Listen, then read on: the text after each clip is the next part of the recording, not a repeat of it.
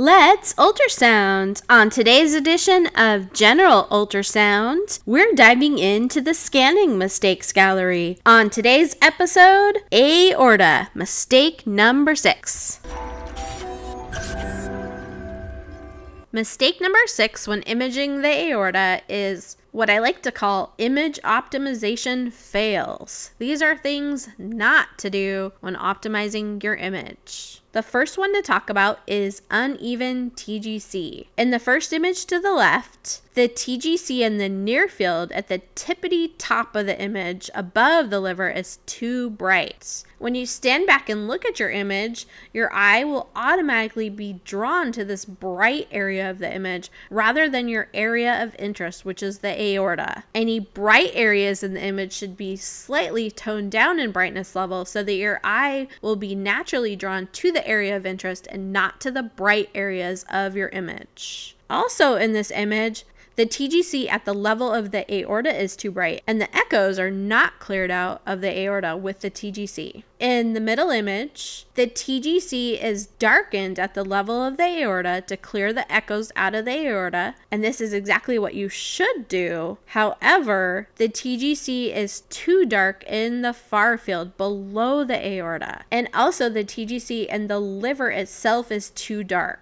So at the level of the aorta, the TGC is correct. However, you want to brighten up the TGC at the level of the liver and also tone down the brightness of any fat between the liver and the aorta and brighten up the very bottom of your image below the aorta. In the image to the right, the TGC is correctly darkened at the level of the aorta to clear any echoes out of the aorta. However, the TGC is too bright above and below the aorta. Note that fat and bowel can easily be oversaturated with brightness. And whenever you have these in an ultrasound image, you want to naturally tone down their brightness level with the TGC so that your eye is drawn to the area of interest rather than the echogenic fat or bowel. Also, with these bright TGC levels, the liver echo texture itself is also too bright in this image.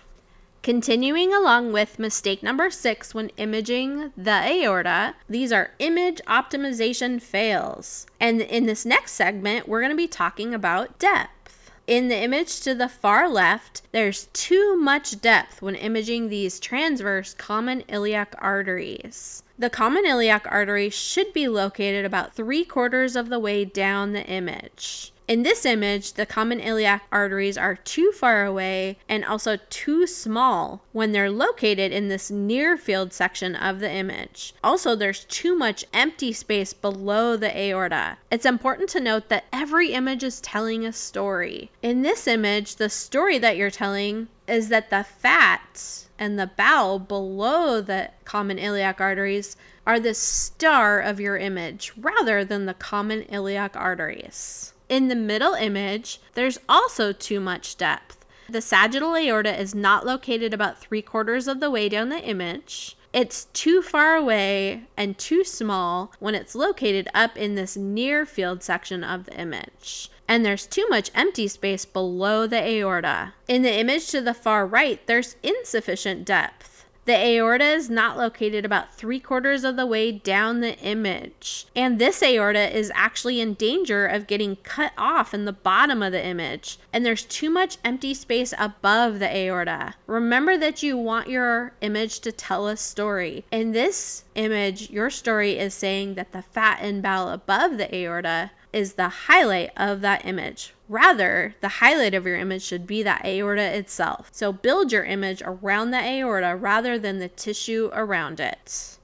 Next, let's talk about harnessing the power of the focus. That is your focal zones. And this is mistake number six. Image optimization fails when imaging the aorta. In the image to the far left, the focal zone is placed too high. This is going to cause the aorta to have artifactual echoes within it, and also the aorta walls will not be as well defined as they would be if the focus was brought lower. The focal zone should be placed at the level of the sagittal or transverse aorta. In the middle image, the focal zone is too low. The aorta will have artifactual echoes within it, and the walls are not going to be as well defined as they would be if the focal zone was moved higher. In the image to the far right, multiple foci are used, which is fine when imaging the aorta as long as frame rate is not a concern. However, the focal zones are optimized in this image to provide maximum detail to the SMA and above the SMA rather than the aorta. They are both too high. When using multiple focal zones, the lowest foci should be placed at the level of your area of interest, which in this image is your sagittal aorta.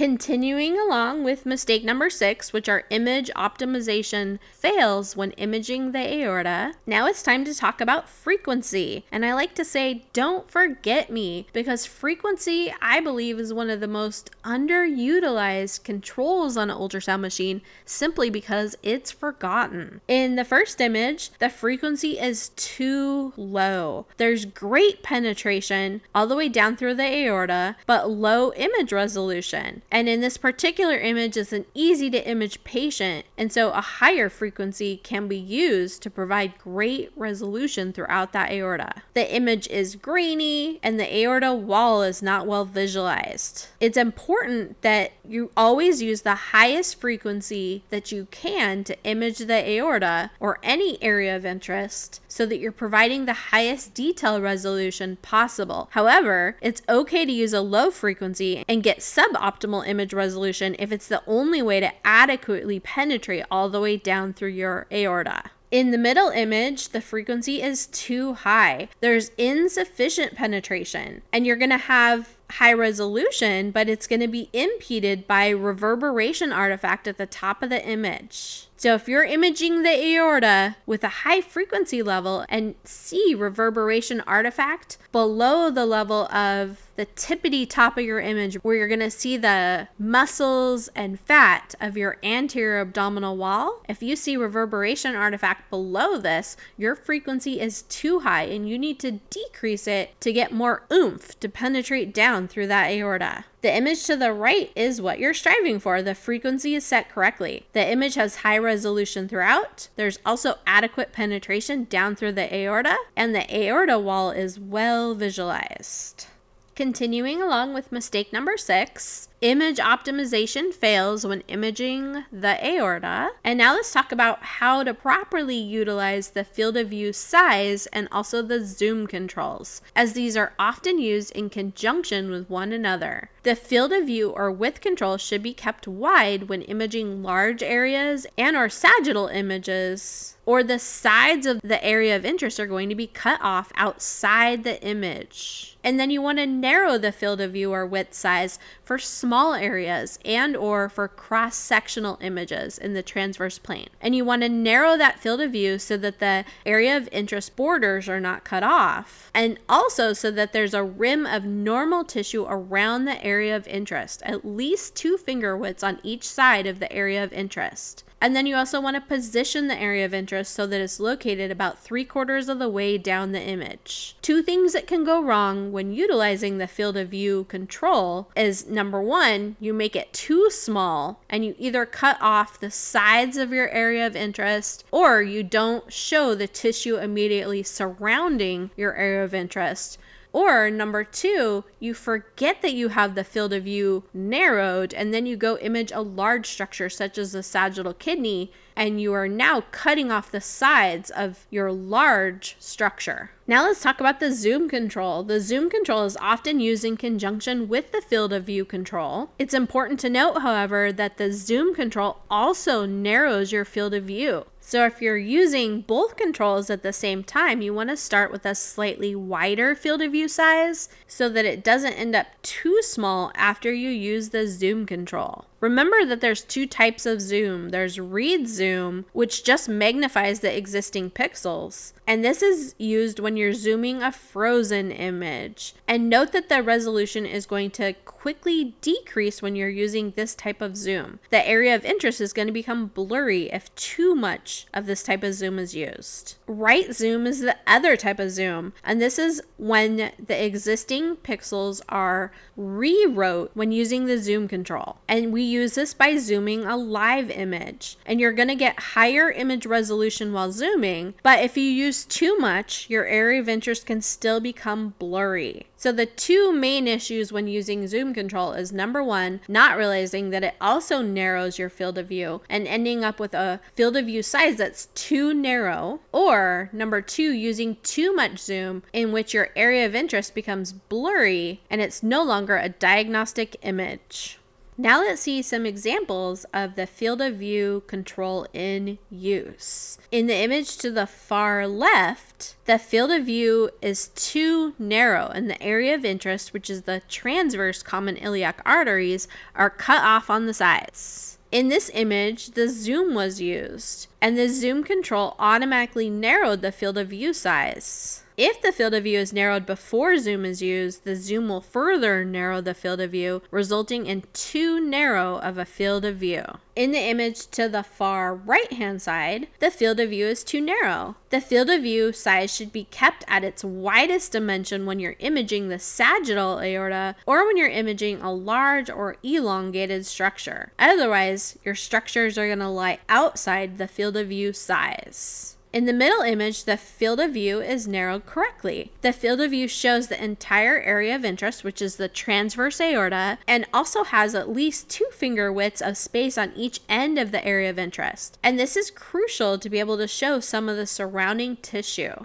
And also, the zoom is set correctly so that the image is not blurry, and the transverse aorta is located about three quarters of the way down the image. So, what would happen if you don't show tissue around the area of interest? And the answer is you can miss things. Let's say you're showing an ovary and you narrow your field of view size and you don't show the tissue that's immediately surrounding the ovary. You could miss a mass that's hanging off the side of the ovary and or you could also miss free fluid in the region of the ovary, both of which are important diagnostic clues. That's why it's essential to not only show the entire area of interest, but also the tissue that's immediately surrounding that area of interest when you're utilizing the field of view and the zoom controls on an ultrasound.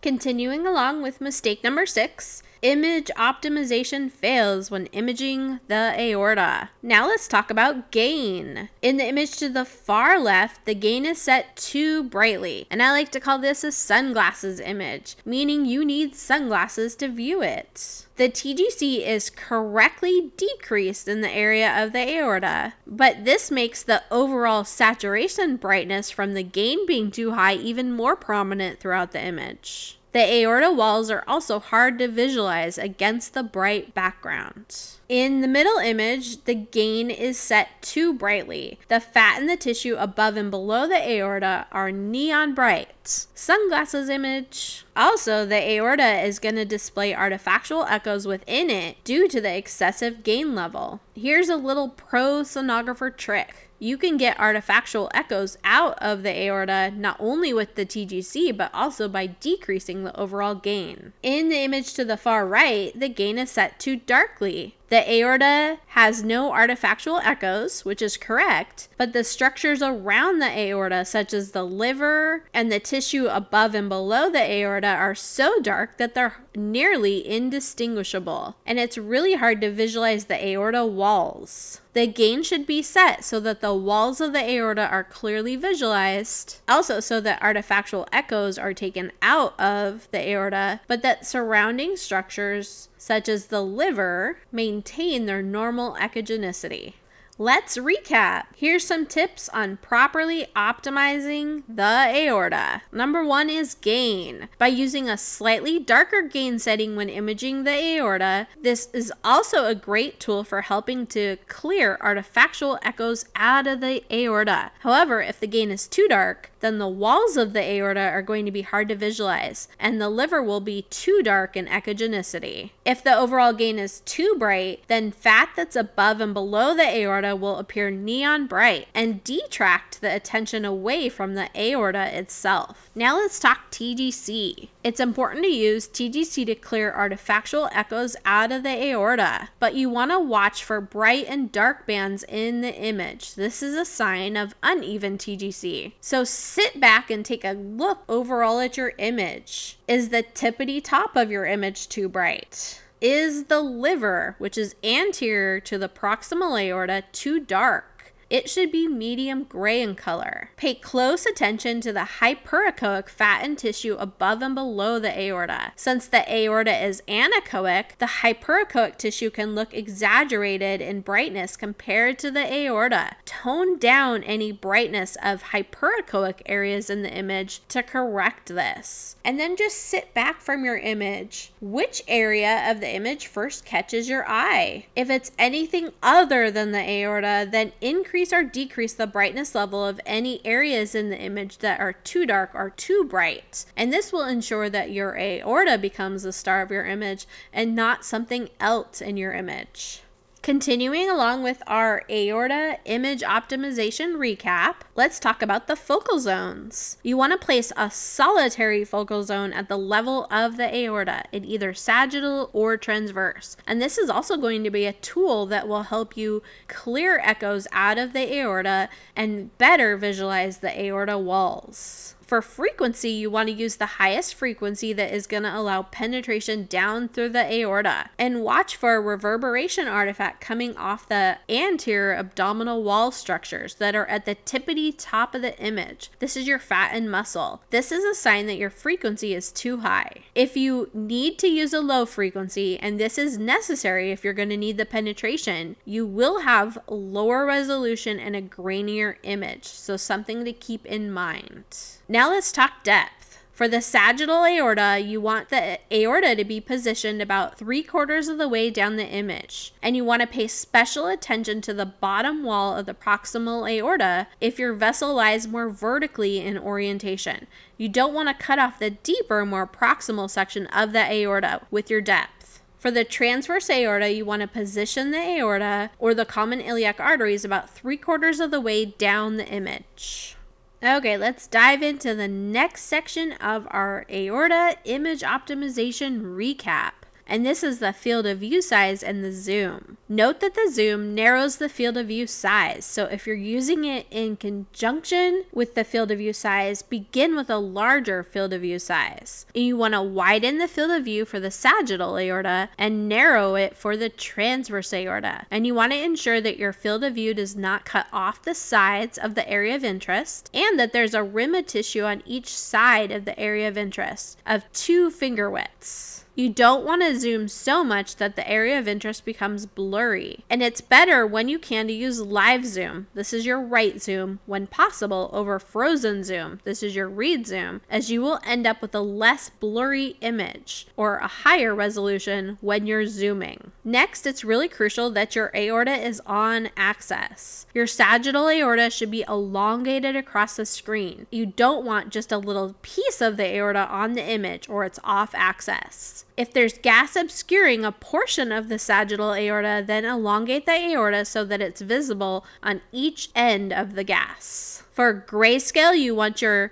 aorta to be horizontal across the screen. And for color Doppler, you want to create an angle by heel toeing the transducer. And for your transverse aorta, you want it to be a round shape oblong is going to be off axis. Note, however, that the common iliac arteries in transverse most commonly are going to be slightly oblong in shape.